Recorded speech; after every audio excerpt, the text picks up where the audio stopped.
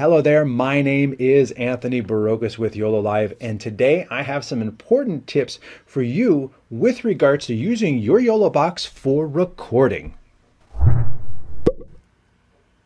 Now, the YOLO box is a fantastic live streaming tool, but if you're not connected to the internet, you can still use it for recording.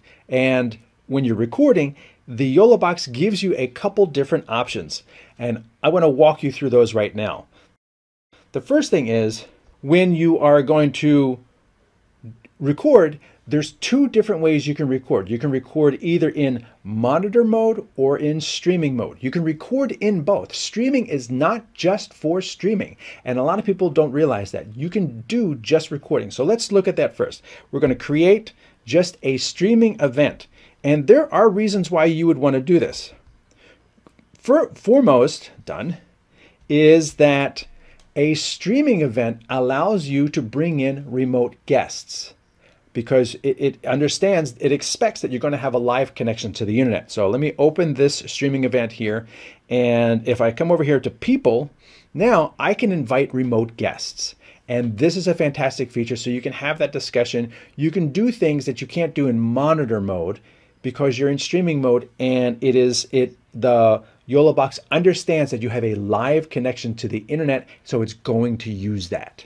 Now, one of the things that you need to be aware of though is in in when you're in streaming, your encoding setting is going to be lower than if you're in monitor mode. So if you are in streaming mode, you watch like this, I'm going to stop at 8,000 kilobits or 8 megabits a second at 1080p.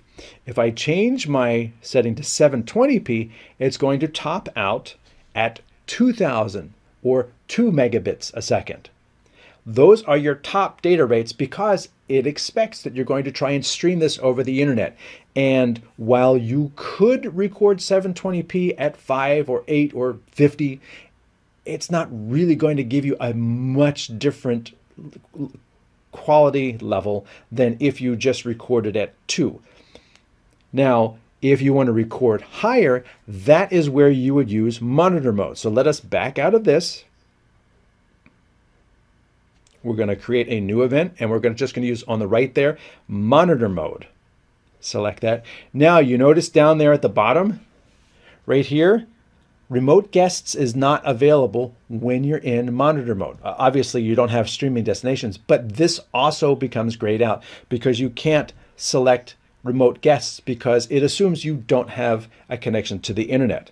But now, when we come over here to our encoding setting right here, we're going to click on that. You see right now, I'm at 10,000.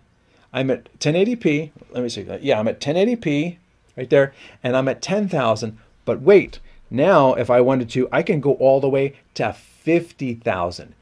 That's much higher.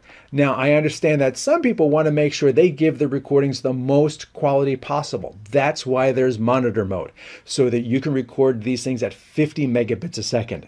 And if you're in 720p, let's switch to that, you can see I have 12 megabits a second in 720p, which is more than enough for a 720p signal. The other really important thing to remember when you're recording is to wait for the recording to finish. Let me show you what I mean. So I've got this thing set up 1250, 7. Let me go up back up to 1080p. I'm going to bring it down. I usually do these shows at 10 megabits a second. So I'm going to hit record. So you can see I've got this thing recording. The recording light is right here. I've been recording for 50 seconds. Now I'm going to hit the record to make it stop and it says you want to stop the recording, I'm going to say done. Don't take your card out yet. Wait for it, wait for it, wait for it. Now the recording was saved successfully. I see a lot of people. Okay, not a lot of people. I see some people. They are very anxious to get that recording somewhere else and start editing it immediately, or they need to swap cards, or they need to hand off the video. And what they do is they hit stop, they think they're done, they take the card out.